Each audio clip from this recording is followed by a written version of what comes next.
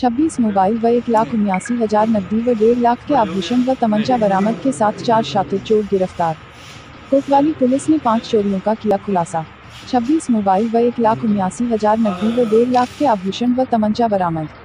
देवरिया, ज़िले में लगातार हो रही चोरी की घटना को लेकर हड़कंप मचा हुआ था, जिसको पुलिस अधीक्षक डॉक्टर श्रीपति मिश्र ने सदर कोतवाली पुलिस को जल्द चोरों को पकड़ने के लिए निर्देश दिया था।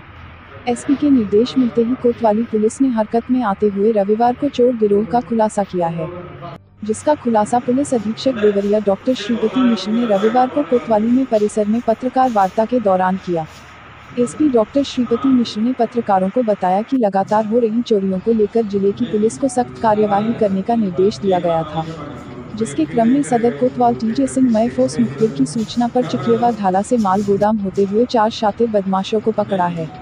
पकड़े गए चोर ने राजन गौंड। राहुल गौड़ अमर जिसके साथ एक किशोर को भी पकड़ा है, जिसके पास से 26 मोबाइल, एक लाख उन्यासी हज़ार रुपया, आभूषण तथा दो तमंचा व दो कारतूस बरामद हुआ है।